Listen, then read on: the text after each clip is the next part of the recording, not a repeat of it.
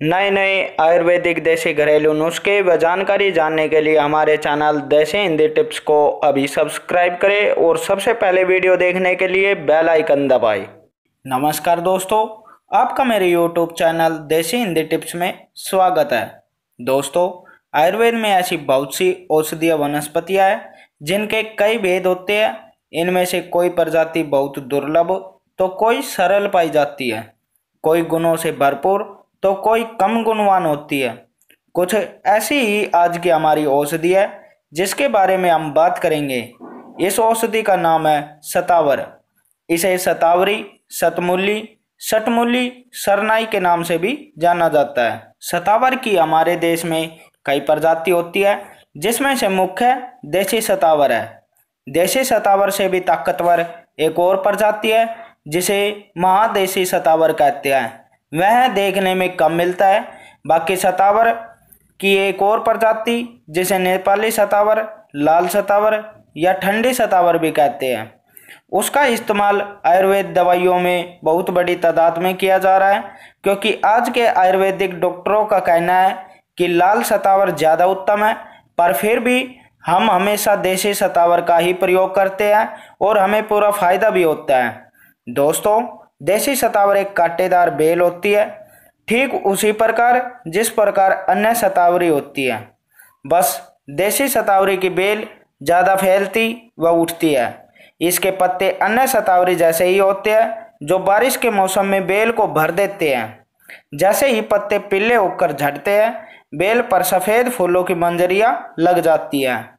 इसकी जड़ लंबे लंबे कंद के रूप में निकलती है, जिनकी लंबाई तीन फीट तक हो जाती है। इसकी जड़ों के ऊपर से जब आप छिलका उतारेंगे तो अंदर सफ़ेद रंग का गीला चिपचिपा कंद मिलेगा।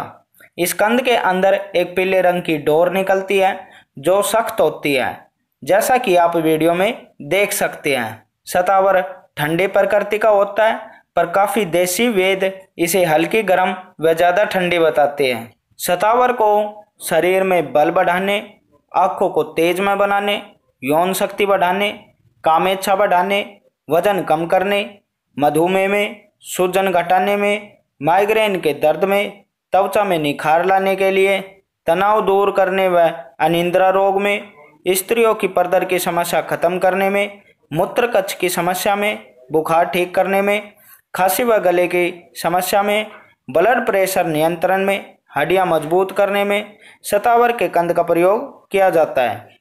सतावरी को स्त्रियों के लिए अमृत बताया गया है। सतावर स्त्रियों के मासिक धर्म को नियंत्रित करती है लिकोरिया का उपचार करती है, उनके प्रजनन अंगों को स्वस्थ रखती है, यौन विकारों में राहत दिलाती है, वह गर्भावस्था के दौरान व बाद में फ़ायदेमंद साबित होती है। इस्तेमाल के लिए आप इसके कंदों का चूर्ण बनाकर आधा चम्मच से एक चम्मच मात्रा का सेवन दूध से करें। बाकी इसकी मात्रा का आप अपने शरीरानुसार या वेद की सलाह में ले सकते हैं।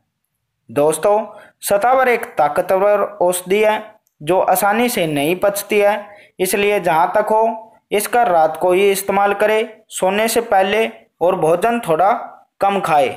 आप इसे रात का भोजन करने के दो घंटे बाद ही खाएँ, जिनको पहले ही किसी प्रकार की समस्या है और दवाइयाँ चल रही है। वे अपने डॉक्टर की सलाह से सतावरी खाए।